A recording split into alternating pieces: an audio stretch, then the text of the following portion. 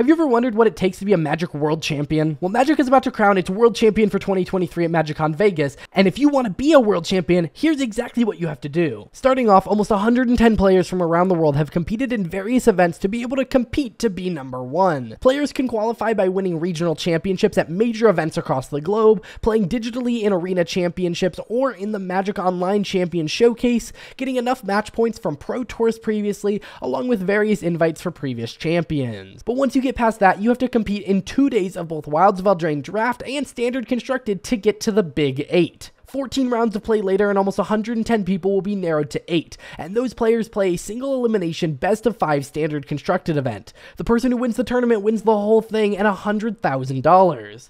Thanks to Wizards for sponsoring this video, go click the link to learn more.